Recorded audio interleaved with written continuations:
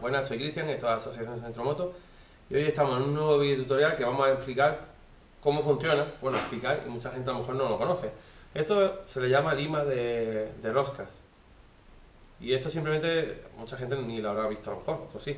Es para explicaros lo que es y cómo funciona.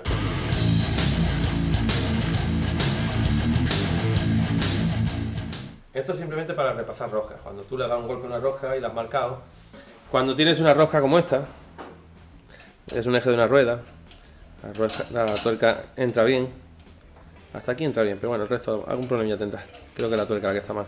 Entra bien, ¿qué pasa? Pues lo más normal es que esto muchas veces es un eje de una rueda y alguno que es un poco más jafre de la cuenta le mete dos hostias con el martillo. Vamos a darle bien, hombre.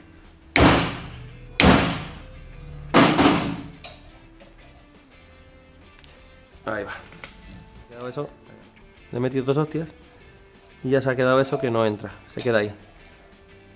Porque como podéis ver, está eso marcado. Entonces, ¿esto cómo funciona? Tenemos para los pasos 300, 250, 125, 150. Entonces, ¿qué, ¿qué hacemos? Pues lo con esto, aunque no tengamos mucha idea, encajamos así. Para buscar cuál es el paso que tenemos. Que este será 150 o algo así, creo yo. No, tampoco es. 175 será entonces. Este, 175.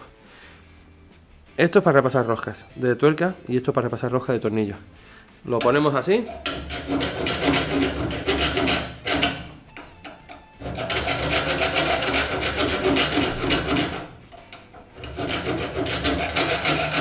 Tan sencillo como pasarlo así. Y vemos que esto ya está repasado. Esto lo único que hace es que entra en el hueco y se lleva la, la rebaba que le hemos hecho llevaba la rebaba que hemos hecho ya. Vuelve a entrar perfectamente. Esto simplemente lo hago para que conozcáis herramientas.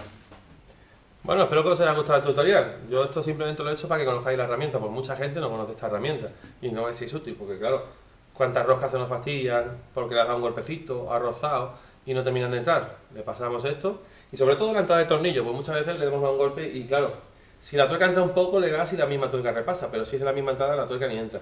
Entonces esto es súper útil. Espero que os haya gustado y me pongáis un me gusta, por supuesto, y que os apuntéis al canal porque vamos a empezar a hacer cosillas de herramientas. Si alguien quiere preguntar por alguna, yo suelo tener casi todo aquí a mano. Entonces si a alguien le hace falta saber algo sobre una herramienta, que no dude en preguntarlo.